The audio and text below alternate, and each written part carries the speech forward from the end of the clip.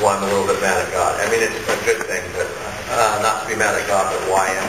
Yesterday was an extremely long day, getting up early and getting ready for our communal Lenten reconciliation service, uh, which was awesome. It was amazing.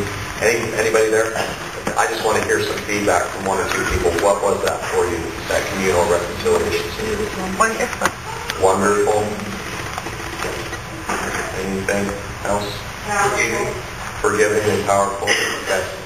I want to encourage us all, all of us, to enter into the sacramental life of the church more. We were there together yesterday receiving absolution. Absolutely. When is the last time you've experienced absolution in the sacrament of reconciliation? It's one of the greatest things we've got going for us as Catholics, brothers and sisters. To be absolutely forgiven. That God is absolving us from our sin. He's solving our problems of joylessness and guilt. And He's filling us with joy.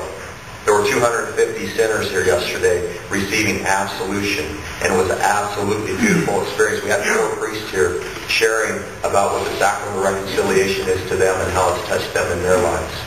So I encourage you in the future when we have that, it's a beautiful time to come together and experience absolution. We do not sin alone. We do not cry alone. We do not live alone. We do not suffer alone.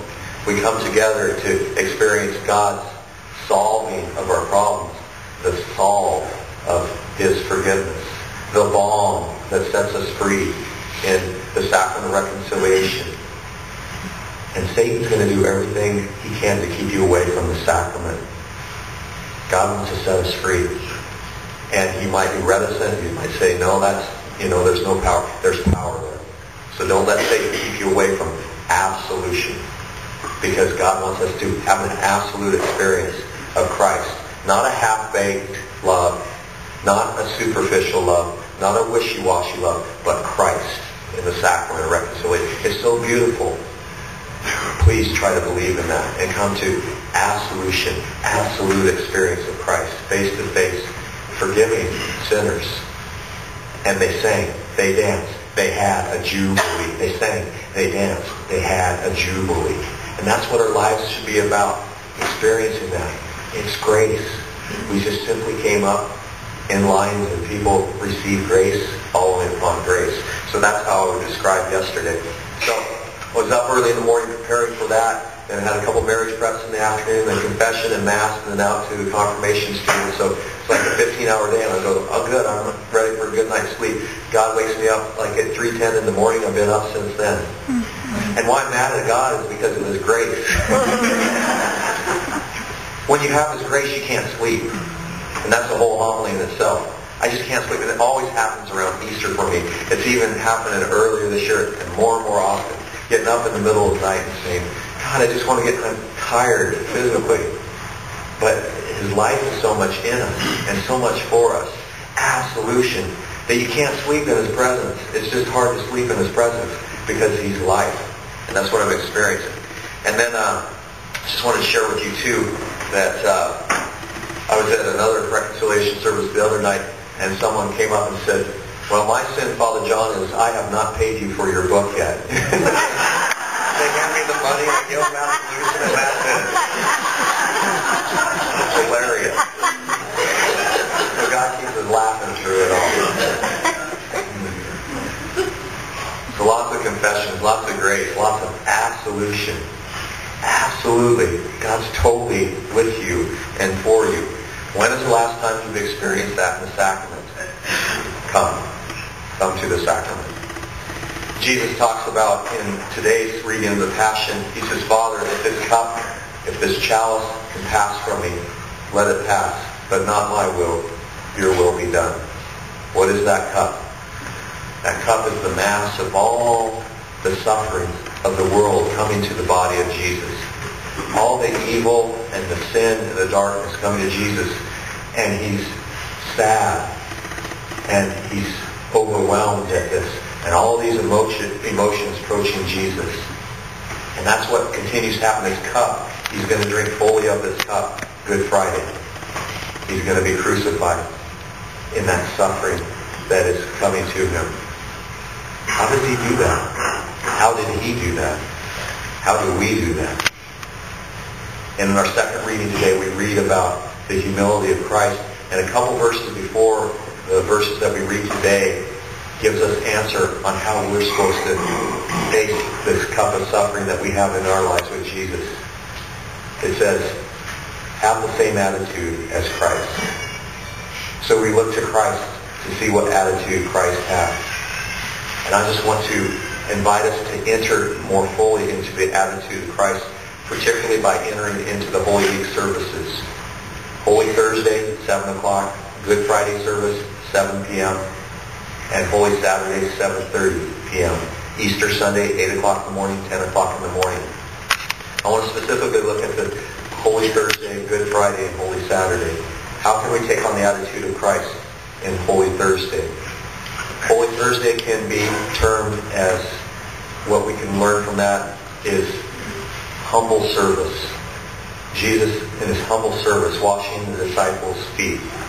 So as Jesus is approaching his death, isn't Jesus amazing? He is taking on all the suffering in the world. And what is he doing? He's serving. He's washing our feet. I have a good friend who's a deacon. I was just talking to him a couple months ago. I go, what's going on, Steve? He goes, I just can't can't get over it. God gets on his knees and he washes our feet. Jesus is about ready to die, and who's he thinking about? You. That attitude of humble service, joy, Jesus over you, Jesus over yourself. You're dying, joy. The other person before yourself, as Jesus shows us. He's dying and he's washing our feet, thinking about us. I was with a dying man this week, and I was spending time with him, holding his hand. He's dying. Held his hand for about 15 or 20 minutes. And as I held his hand, he was caressing my hand. And that reminded me of Jesus. He's dying and he's serving me. And he's anointing me with his death and serving me. So in when we have to drink our cup of suffering, to think of that is let us continue to be humble servants to all those around us, to anoint those around us in the likeness of Jesus. Good Friday, a word that we can use to characterize Good Friday is courage. The courage of Jesus. Couragio. The courage of Jesus. That he will continue to follow his God. Even in the midst when he says, why have you forsaken me? And his experience of not experiencing God. He's not feeling it. But his courage to continue to follow God when he's not feeling it. Brothers and sisters, our faith is not about feelings.